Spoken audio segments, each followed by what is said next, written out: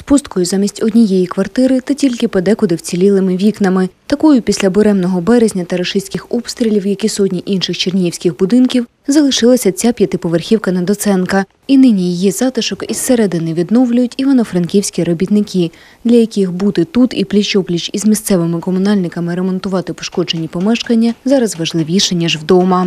Нас відправили відрядження на допомогу до вас. От і приїхали, допомагаємо. Тому що ми українці, і це Україна.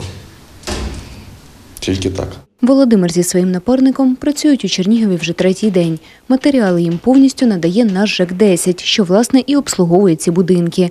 Оскільки у цьому під'їзді рами вціліли, їх просто зачищають, а потім підганяють та вмонтовують у них попередньо вирізане скло. На цей раз матове, більш товсте і міцне за звичайне.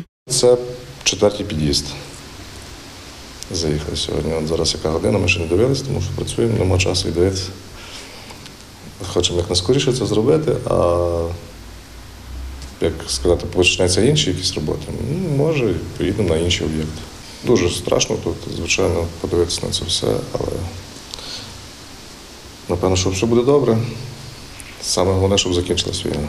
Попереду у будівельників іще два тижні, за які вони планують встигнути засклити приблизно 800 або й тисячу метрів квадратних вікон та залатати дірки від ворожих приходів на кількох дахах. І це лише по території управління цього КП. Загалом же на підсилення чернігівцям із Франківська приїхало 22 різнопрофільних спеціаліста. Поточні ремонти виконують е, самостійно е, житлові організації.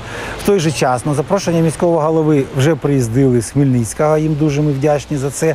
І також на запрошення міського голови приїхали робітники з Івано-Франківська. Дев'ять людей працюють на КП Новозаводському, дев'ять людей на ЖЕКу 10 і чотири людини працюють на ЖЕКі 13. Вони е, склять вікна в під'їздах, а також будуть ремонтувати дахи.